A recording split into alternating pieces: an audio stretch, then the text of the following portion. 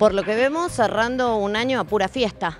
Sí, a pura fiesta y de mucho, mucho, mucho trabajo. Mucho trabajo eh, institucional. Este, bueno, acá está un poco la muestra. La señorita, los, logros que ha tenido este, por el trabajo sistemático con los nenes, de mucha paciencia, mucho tiempo y esperar los tiempos de los nenes. Bueno, como verás, eh, si tenés a espaldas nuestras, están todas las salas con las muestras de todos los trabajos que han hecho las señoritas, este, que están eh, tratando de estar expuestos, que es, apenas una muestra. Y después los talleres que se han hecho también con personal externo de Casa del Niño. ¿Qué cantidad de chicos asistieron este año? Cuando hicimos el pedido formal este verano al intendente que por favor nos designara más docentes porque teníamos muchos nenes en lista de espera y nosotros en el mes de marzo hacemos la inscripción de las familias que van a estar acompañándonos a nosotros durante todo el invierno. Bien teníamos el espacio físico, no teníamos personal docente suficiente, así que el intendente Martín Yesa Rápidamente en dos días nos designó este, una docente y pudimos incrementar la matrícula hasta llevarla a 75 nenes. ¿De qué edades? Y van de 3 añitos a 11. Y los de 5 y 6 este año con algo muy especial. Sí, eh, la verdad que estamos muy orgullosos de presentar este, nuestro libro de historias. Esto surge eh, por idea de los nenes. La verdad que el disparador fue una imagen de unos ositos de vacaciones. Eh, la idea es eh, ofrecerles actividades estimulantes, divertidas, que los invite a leer y a escribir este, de un modo estimulante.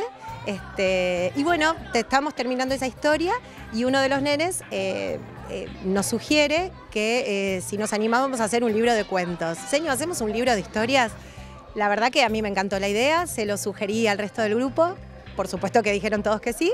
También contamos con la colaboración de eh, mucha gente que posibilitó que esto se materialice en formato de libro. Este, Emilio Bravo, que es diseñador gráfico, Carla, que es la bibliotecaria de, Casa del Niño, Oscar, que muy amablemente nos encuadernó los libros, eh, la Asociación Cooperadora, bueno, por supuesto Carmen, que, adhiere a todas nuestras ideas locas este, y nos banca. Eh, y bueno, y esto es reflejo del trabajo de los chicos. Eh, nosotros intentamos que esto sea casa del niño, este sea el trabajo, eh, estimularlos desde un modo lúdico y divertido, que puedan adquirir contenidos, reforzar los que vienen este, medio, trabaditos y bueno, y, prepararlos para finalizar un buen jardín, el inicio de primer grado. Es, este, el objetivo de todas las salas y de todas las docentes que, que trabajamos acá. Y ya preparando en unos días arrancamos con la colonia de verano.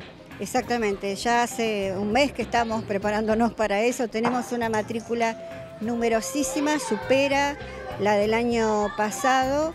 Y ¿Qué cantidad de alumnos? Estamos con 385 nenes. Y este, supera ampliamente la del año pasado. Y esa demanda exclusiva de los papás, porque la verdad que nosotros prácticamente no, no informamos, simplemente informamos en cada escuela cuándo va a ser la inscripción, pero los papás ya nos conocen, hace muchos años que vienen con nosotros, más los hermanitos que se van agregando, así que bueno, es imposible no dar respuesta a eso porque nuestro horario eh, de atención es desde las 7 y media de la mañana hasta las 5 de la tarde, cubre una franja horaria importante que asegura a los papás poder trabajar tranquilo, que sus nenes están cuidados.